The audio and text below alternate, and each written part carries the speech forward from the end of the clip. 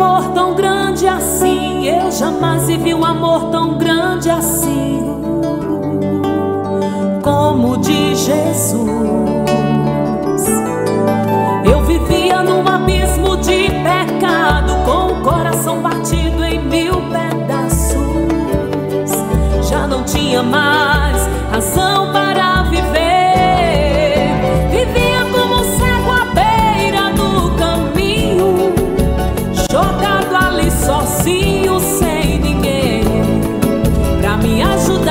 Aleluias! Glória a Deus, queridos amados do Senhor Jesus. Deus abençoe sua vida, sua família, sua casa, nossas ovelhinhas queridas. Deus lhe dê uma semana abençoada hoje, segunda-feira, dia 11 de abril.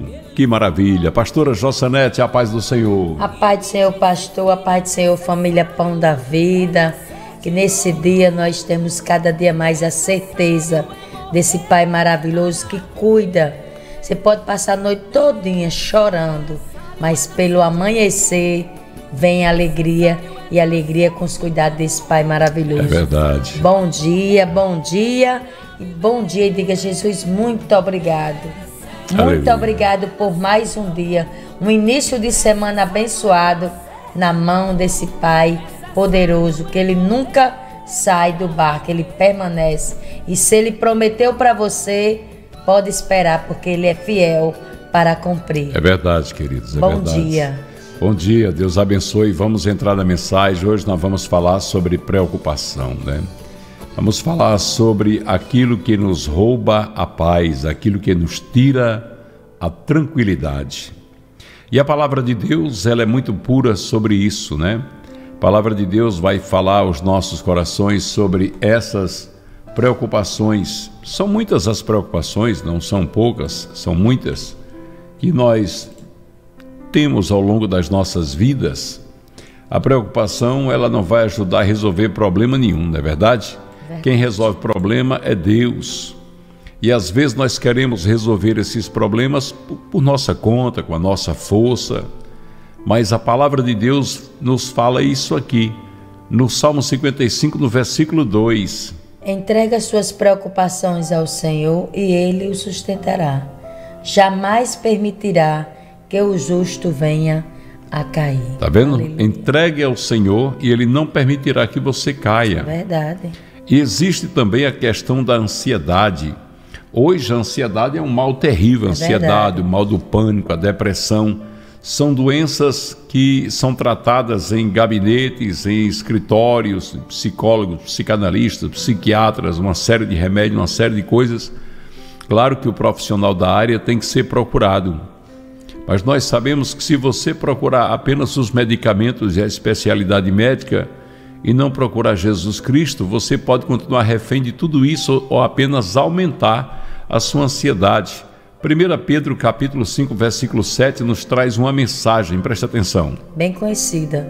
Lance sobre ele toda a sua ansiedade, porque ele tem cuidado de vós. A palavra de Deus vai nos dizer isso. Nós temos hoje uma, uma série de preocupações em várias áreas da vida. E uma dessas áreas que nós nos preocupamos são os casais. É, são as discussões nos casamentos, nos relacionamentos as discussões no casamento são uma realidade e a Bíblia reconhece e resolve nos ajudar. Todo casal normal discute, mas a discussão não precisa se levar quem está discutindo ao pecado nem ao fim do casamento. A Bíblia nos ajuda a lidar com essas discussões. Essas discussões no casamento vão desgastando o casamento e a Bíblia manda que nós suportemos uns aos outros.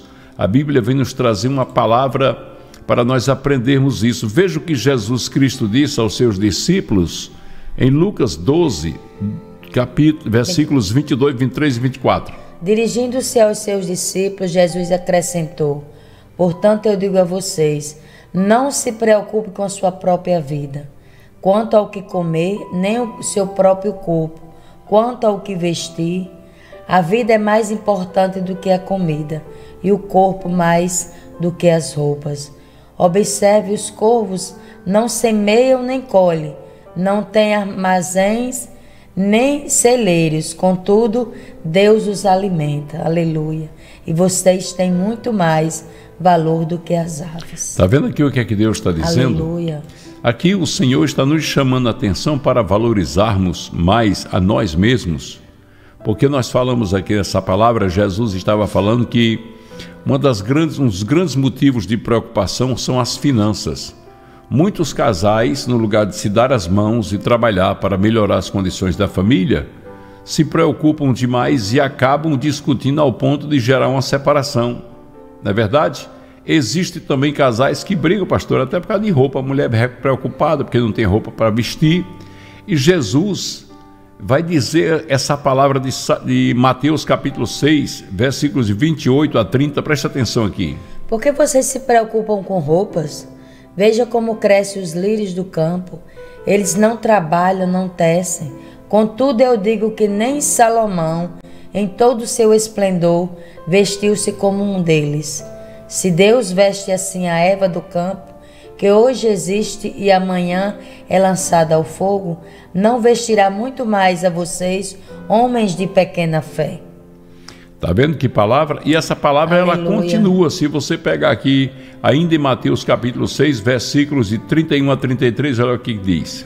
Portanto, não se preocupem dizendo: quem, que vamos comer, o que vamos beber, o que vamos vestir, pois os pagãos é que correm atrás dessas coisas, mas o Pai Celestial sabe que vocês precisam delas.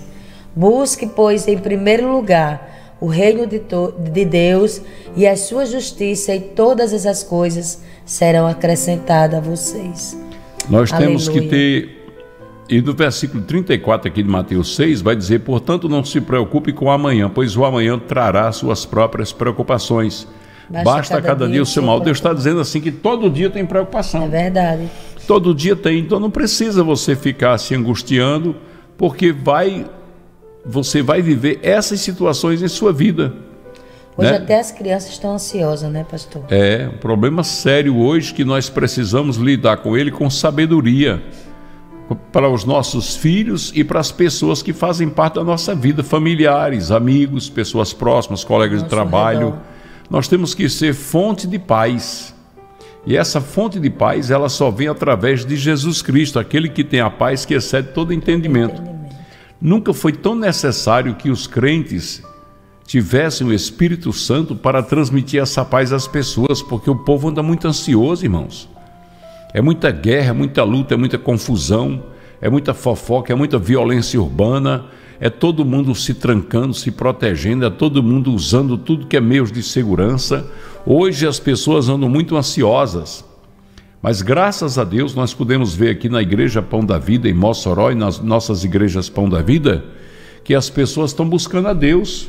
Ainda ontem, no nosso culto da família domingo, a igreja estava superlotada. É sede, né? Terminou o culto, lotada a igreja, lotada. A nave da igreja lotada de pessoas. Isso o que, que é? As pessoas vêm buscar o quê? Vêm buscar a paz. Vêm buscar ouvir a Deus, vêm adorar a Deus, mas vem, eu vou porque quero que Deus fale comigo. E essas pessoas que vêm, muitas estão ansiosas, muitas estão precisando de ouvir a voz de Deus para se tranquilizar. É por isso que na oração da manhã nós usamos tantos versículos bíblicos para consolar os irmãos, né? Preste atenção. Salmo 94, 19. Quando a ansiedade já me dominava no íntimo, teu consolo trouxe o alívio da minha alma. Está vendo aí? Quando a ansiedade já me dominava até no íntimo, até por dentro, o teu consolo, Senhor, me trouxe alívio, me trouxe descanso à minha alma. Aleluia. Então as pessoas estão procurando a palavra de Deus para buscar apoio, para serem felizes. O Salmo 37, 25, o que é que ele diz? Já fui jovem e agora sou velho, mas nunca vi o justo desamparado, nem seus filhos mendigando pão. Aqui a palavra Aleluia. de Deus está falando que Deus cuida da nossa de descendência.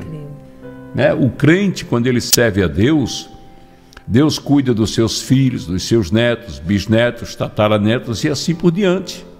Já fui jovem, agora sou velho, mas nunca vi o justo desamparado, nem seus filhos mendigando pão. Essa palavra vai nos trazer um conforto dizendo que Deus cuidará dos nossos filhos. Olha que palavra linda, Verdade. maravilhosa. Vamos orar agora por nossas famílias. Vamos orar agora pedindo a Deus o consolo, a direção, o refrigério para nossas famílias.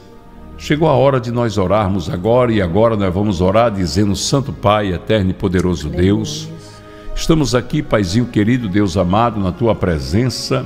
Sim, meu pedindo, meu Pai, que o Senhor abençoe todas as famílias que estão Sim, nos acompanhando aqui. Paizinho querido, Tu és o Deus que joga por terra todo levante contra as famílias. Sim, meu Pai. Pai, tu sabes, Deus, que teus filhos e filhas estão passando por Sim, luta. Senhor. Senhor, que todas as orações contrárias, todos os levantes contra as famílias que nos acompanham é, caiam por terra. Senhor, que toda família que está aqui acompanhando esta oração Jesus, da manhã seja agraciada com teu poder. Senhor, com a tua mão poderosa estendida, abençoando, cuidando, Derrama, sarando Senhor. as feridas, curando as enfermidades.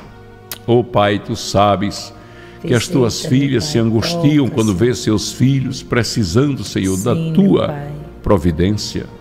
Então, Deus, abençoa toda a família. Sim, Estende a tua mão, Deus. Nós consagramos a ti os nossos filhos, nossos netos, nossos sim, bisnetos. Pai. Consagramos a ti nossos genros, nossas noras. Senhor, nós consagramos a ti cada uma das nossas ovelhinhas que o Senhor tem nos dado para tomar de conta. Fala, Deus, ao coração de sim, cada um dos teus pai. filhos e filhas, enchendo-os da paz. Senhor, da paz que excede todo entendimento, da tua maravilhosa paz. Enche-os, Deus, de santidade, de maravilha, Pai. Tira toda ansiedade, Sim, pai, tira toda assim. angústia, abre as portas de emprego, é, abençoa a saúde e abençoa, Pai, a vida financeira, especialmente a vida espiritual. Derrama, que teus Senhor. filhos e filhas encontrem, Senhor, nos pai, teus braços, Senhor. a alegria de te servir, Sim, Senhor. Senhor. Pai, eu peço em nome de Jesus em Cristo. Nome, Senhor. Abençoa, Pai, em todas as áreas da vida, é, pai, os teus filhos e filhas, para a glória de Deus, Jesus. nosso Pai. Amém. Amém. Amém. queridos. Deus abençoe. Fica na paz. Inscreva-se no canal aqui, olha. Inscreva-se. Seja um canal. Seja. Fale, amor. seja um abençoador e assim você receberá a sua bênção. É. Compartilhando, você está fazendo o ídolo de Jesus. Daqui a pouco do pastor Gabriel, depois do pastor Gabriel Butler e o Bom Dia Jesus, vamos estar no ar com o culto no lar, eu e a pastora Angela Berti. Fique na paz, compartilhe, compartilhe essa mensagem com o maior número de pessoas que você puder. Coloque nas suas redes sociais, compartilhe os seus grupos de WhatsApp, fale desse canal para as pessoas, ajude a edificar vidas Sim. e a trazer essas pessoas para ouvir a voz de Deus, tá bom? Deus abençoe. Beijo, Beijo nas nossas coração. ovelhinhas. Paz. Olha as ovelhinhas, as ovelhinhas ali penduradas ali, olha lá. É sim. Deus abençoe, paz. queridos. Até daqui a pouco no culto do lar. Obrigado.